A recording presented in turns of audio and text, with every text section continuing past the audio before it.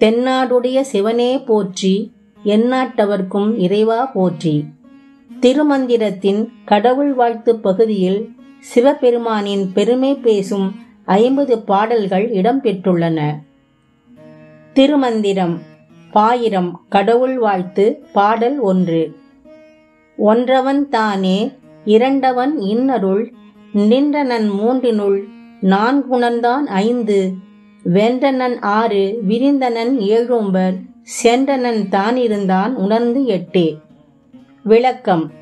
இறைவன் ஒருவனே அவனைத் தவிர வேறு தெய்வங்கள் இல்லை. அதாவது உலகத்தில் உள்ள அனைத்து தெய்வங்களும் அண்ட சராசரங்களும் அதில் உள்ள அனைத்தும் இறைவன் ஒருவனாகவே இருக்கின்றான்.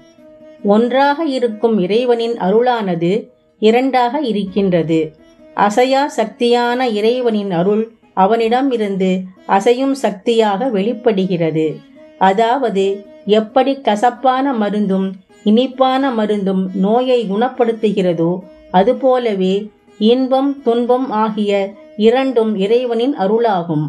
இரண்டாக இருக்கும் இறைவனே பிரம்மன் விஷ்ணு சிவன் ஆகிய மூன்று தெய்வங்களாகவும் நின்று படைத்தல் காத்தல் அழித்தல் ஆகிய மூன்று விதமான தொழில்களையும் புரிகின்றான்.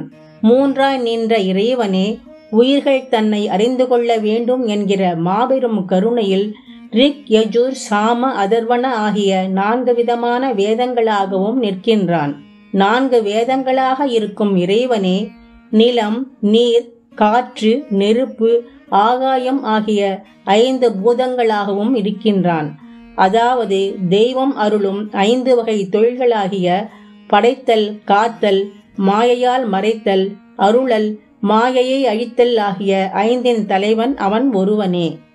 ஐம்பூதங்களாக இருக்கும் இறைவனே உயிர்களின் உடலில் மூலாதாரம் சுவாதிட்டானம் மணிப்பூரகம் அநாகதம் விசுத்தம் ஆக்ஞை ஆகிய ஆறு சக்கரங்களாக விரிந்து இருக்கின்றான்.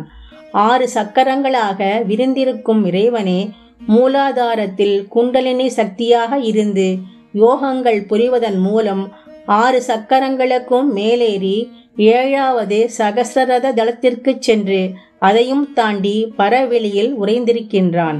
ஏழு சக்கரங்களிலும் உறைந்திருக்கும் இறைவனை தனக்குள்ளே உணர்ந்து உயிர்கள் அவனை எட்டுதலே முக்தியாகும்.